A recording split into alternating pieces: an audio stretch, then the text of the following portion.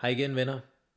Jeg er startet på skuespillerskolen Ophelia, og lige nu så sidder jeg i mit hyggelige værelse lidt uden for København.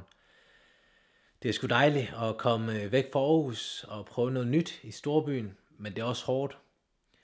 Og jeg vil bare sige, at det skal nok lykkes for jer, selvom I får afslag på Statens Teaterskole, eller den danske scenekunstskole, hvor jeg for eksempel søgte seks gange, og efter det sjette afslag, så valgte jeg at prøve nye veje, og så var det så, jeg søgte på Ophelia. Og jeg er kommet ind på Ophelia nu, og det er helt vildt rart og dejligt og udfordrende og alt muligt på én gang. Og der er en dreng fra min klasse, der er fra Nordjylland, og så er resten fra København, eller Sjællands område, og så er der mig fra Aarhus. Så øh, det kan lykkes. Man skal bare opsøge det selv. God dag.